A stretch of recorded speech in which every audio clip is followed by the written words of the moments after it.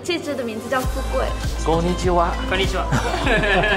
特别是在四面佛去许愿，许一次灵一次，许一次灵一次。你能看到有一个电话亭 massage， 但其实它是一个假的 massage。亲爱的小伙伴们，就是我发现有不少的我们中国的在泰国这边有开店的呀，有做生意的呀。那前两天呢，就有一个粉丝朋友问我有没有兴趣去他的咖啡店坐一坐。我一看是一个漂亮小姐姐，我今天呢就去看一看这个粉丝朋友他在曼谷开的这个咖啡店怎么样。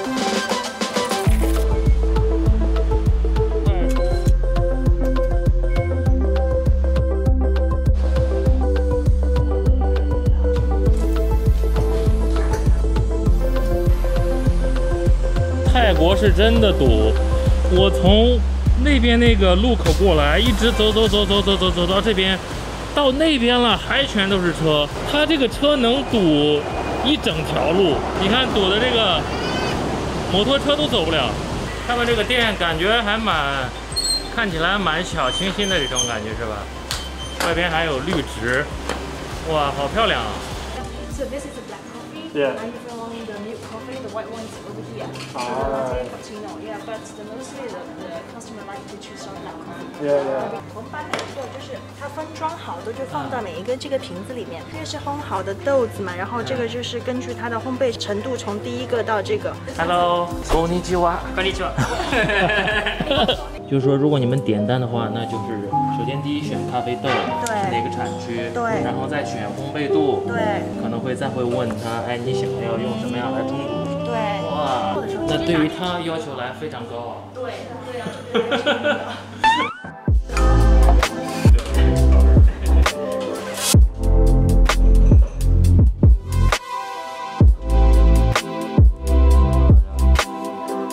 都谢一下呗。还好，它这个部分的话，就是可以让咖啡的那个香味存得更久嘛。嗯，还有收口味去做哈对，收口味。在这边的日本区嗯有一个专门的工作室，就是做这种手烧陶炉的。嗯然后他也在那个日本的高岛屋的百货商店，他也有这个品牌在卖。摆设我以为是可以做的。是可以做的，就很多小朋友在做一看，嗯，它真的很好做。哦这个。相当于摇摇椅。是啊，然后很多人都很喜欢这个，就是那个榆木门老榆木的那个嗯，能看出来这是这种老的东西。对，一扇门做了两个，嗯，摆设都是真猫，这是真猫，是是真的猫在曼谷，这不是假猫吗？是这样的，它它是它的原型是一只真的，这它是我朋友的猫。哦，对，，这只的名字叫富贵，这是我在那个清迈和清莱他们那个地方买的。什么时候呢？还是对，这个是那个呃拉花的冠军的那个，它叫 Unknown 嘛。对啊，然后这个你们可以喝一喝。哦，这是二八哦，，对，还有他们的，哦，谢谢，自己喝着玩就行了。好。这个中文叫什么？Sorry。这个中文。好几茶。我我是今天来到你们这边才听说的呀，但是这边这个焙茶。是，其实日本人都知道静冈的那个茶是比那个宇治的更好一点，但是宇治因为它太出名了，嗯所以很多人就会觉得啊，那是不是宇治的抹茶会更好？但其实就是东京区域的嗯都知道静冈县的是最好的。这个实物比照片更好看，其实，真的。我刚才没认出来，因为实物比较绿。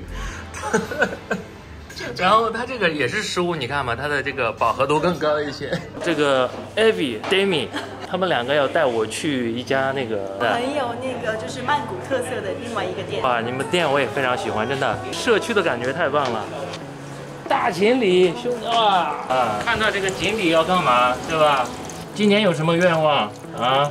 可能你们比较喜欢热带，是，这边会感觉就是很契合，就磁场一来就比较合适，特别是在四面佛去许愿，许一次灵一次，许一次灵一次。哦，原来是这样。真的，许的什么愿呀？来，能不能透露一下？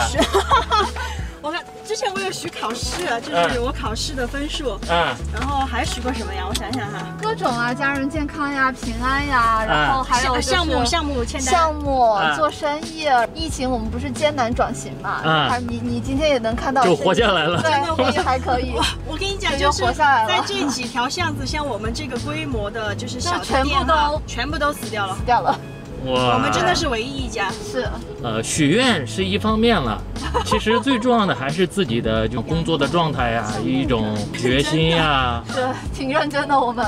比如说像这家，我们我们就就是从我们来到现在这儿，这家起码换了五五个，这个家已经换了五个了。对 我的天哪！在这有一家 bar 叫哈巴纳，对，哈巴纳好像还是亚洲亚洲前几哈，亚洲 top five 还是多少？嗯，这个里面对有一家哈巴纳，哈巴纳，你能看到有一个电话亭，massage，对，但其实它是一个假的 massage，然后你要进去，然后你就能看到一个电话亭，然后你要输一个密码，然后它才会打开。I watch you as you drive. Do you know I'm looking? And I can't help but smile. Do you know how much I love you?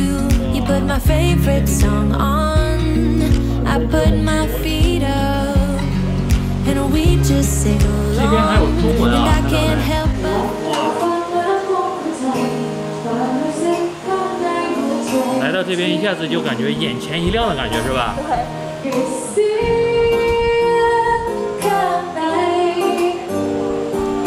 这个就是大树根吗？这有一个，外面还有一个。这个树。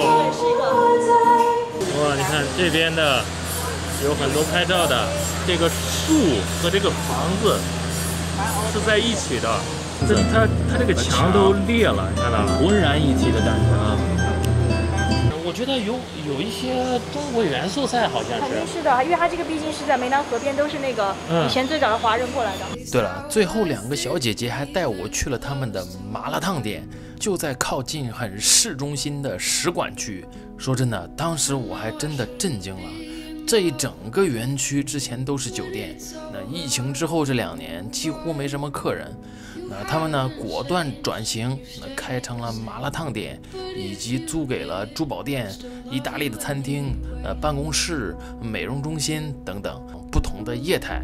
那在疫情期间艰难转型，那实属敬佩。哇，这相当于一个综合体了哈！对，就我们本来是酒店嘛，但是现在疫情就也是艰难转型。那疫情这两年呢，有太多太多遭遇重挫的创业者。那疫情的反复横跳，也让我们一直绷紧了神经。那不过我相信这一切很快会过去。关注牛小咖，那我们呢会持续的给大家带来有趣的、有价值的视频。